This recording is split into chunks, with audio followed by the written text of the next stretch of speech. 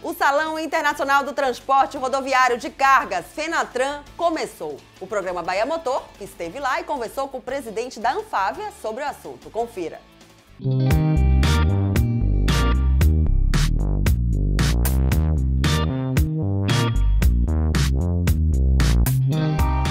Olha, não poderia ser melhor.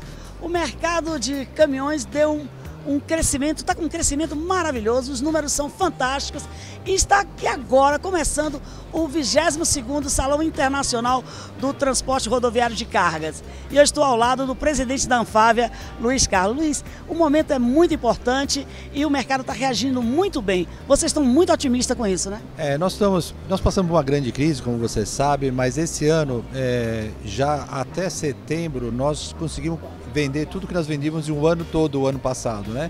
E a expectativa é que o mercado de caminhões possa ser acima de 100 mil caminhões esse ano, é a expectativa da indústria, e estamos bem otimistas. Né? Nós temos um momento de renovação de frota, é, puxado pelo setor do agronegócio, mas também estamos vendo outros segmentos começarem a renovar sua frota. A questão da estabilidade da inflação, a redução da taxa de juros, um pequeno crescimento do otimismo né, dos empresários está ajudando o mercado. E a Fenatran é o grande, é o grande momento da indústria, né?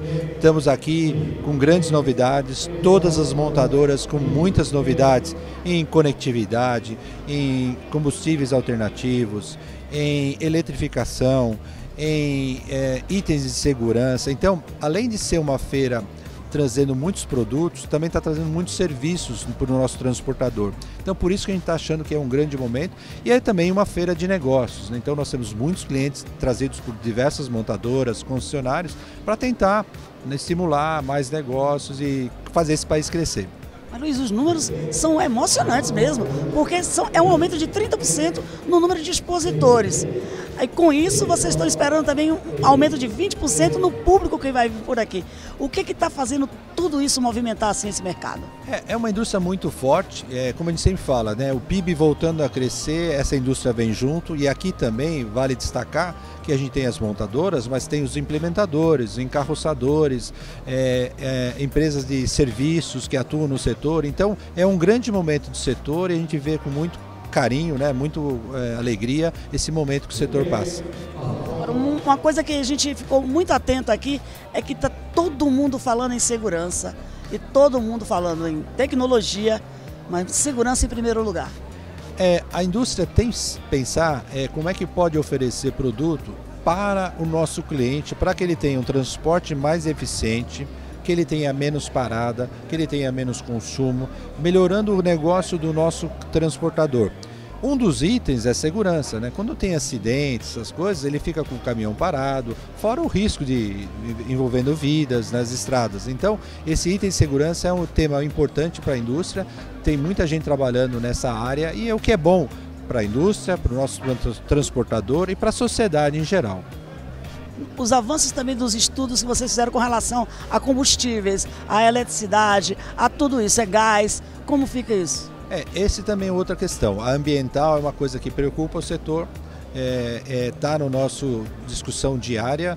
É, cada, cada montadora está procurando investigar pesquisar uma tecnologia. Então tem indústria falando em gás, biogás, biocombustível, HVO, que é um diesel hidrogenado, e tem gente falando em eletrificação. Então, como você pode ver, a indústria está investigando, estudando, investindo em todas essas, essas tecnologias para poder oferecer alternativas para o nosso transportador que tragam também um ambiente mais, mais, mais sustentável. Falando isso, uma das coletivas aqui foi da SAE fala muito sobre isso e muitos estudos e muitas palestras. Vamos falar um pouquinho sobre isso também. Então, essa aí também faz parte aqui do evento da, da FENATRAM. É um, nós vamos ter um debate, um congresso, onde nós vamos também atrair é, vários assuntos envolvendo mobilidade, segurança, é, sustentabilidade. É um painel de debates também para falar sobre o futuro, falar sobre desafios, falar sobre as dificuldades. É também uma forma também de apresentar estudos de estudantes, de engenheiros que estão trabalhando na área. É também uma oportunidade também estimular estudantes a discutir o futuro, discutir a mobilidade. E também então é um outro painel muito bacana que tem aqui que a gente apoia bastante. Luiz, quase todas as coletivas, em quase todas as coletivas, os dirigentes falaram que estão muito otimistas com relação ao Brasil e que vão manter investimentos e vão, inclusive, aumentar investimentos. Como a Anfávia vê isso? É, a Anfávia vê com bons olhos. É, o Brasil é um país muito grande, tem setores, tem mais de 200 milhões de habitantes, precisa de transporte. É, o Brasil está voltando a crescer depois de um momento muito difícil. Nós temos desafios na infraestrutura, temos que a construção voltar a crescer, o agronegócio continua sendo um grande puxador de negócios mas a gente está começando a ver na economia é, outros setores crescerem na mesma velocidade ou voltarem a crescer. Isso é bom para a economia, é bom para o setor, é bom para a distribuição é, de alimentos, roupas, é, materiais em geral da economia. Então a gente está bem otimista sim e a indústria vê o Brasil com grande potencial e está investindo, ou seja, o país é, é, realmente um, faz parte do planejamento estratégico de todas as montadoras do ponto de vista global. O Brasil faz parte do planejamento global de cada montadora. Parece que a única coisa que não está crescendo muito é, são as exportações. Vocês têm alguma saída de imediato para elas ou, ou, a Argentina ainda continua sendo um calo?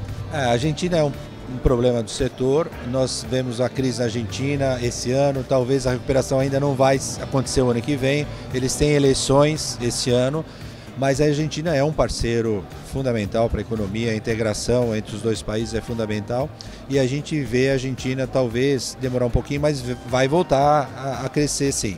Agora, enquanto a Argentina não vem, cabe a nós, indústria automobilística, buscar outras alternativas. Nós já atuamos em outros países, é, tem muita exportação forte para Chile, para Peru, para México, para Colômbia, para outros países da América Latina. E também estamos olhando fora da América Latina, procurando Oriente Médio, África e até alguns países da Europa.